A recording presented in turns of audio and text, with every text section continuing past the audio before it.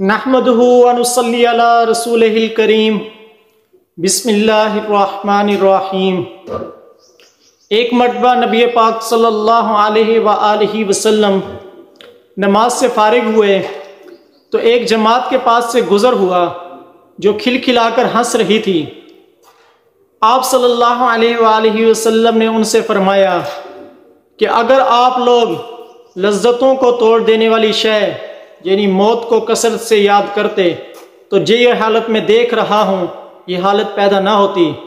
लिहाजा मौत को कसरत से याद करो। और फरमाया कि कब्र पे कोई दिन ऐसा नहीं गुजरता कि वो ये ना कहती हो कि मैं बेगानगी का घर हूँ, तन्हाई का घर हूँ, मट्टी का घर हूँ, कीड़ों का घर हूँ। और जब कोई मोमिन बंदा कब्र में दफन किया जाता है तो कब्र उसको कहती है कि तेरा आना मुबारक हो। अच्छा किया तू मेरे पास आ गया।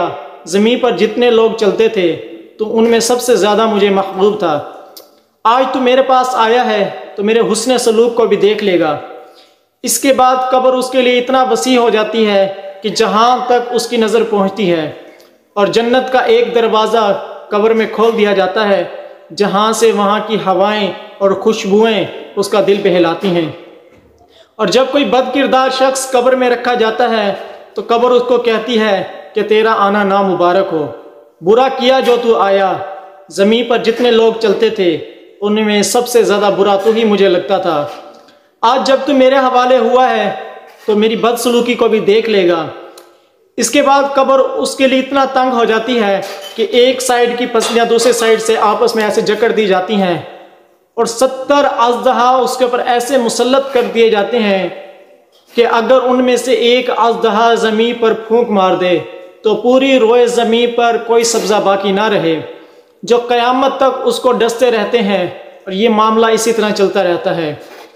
मेरे भाइयों, दोस्तों, आज कोई भी हो, किसी मज़हब से भी हो, मुसलमान हो, या हिंदू हो, या जो कोई भी हो, लेकिन मौत बरहक है, मौत को हर कोई मानता है कि मौत हर एक को आनी है।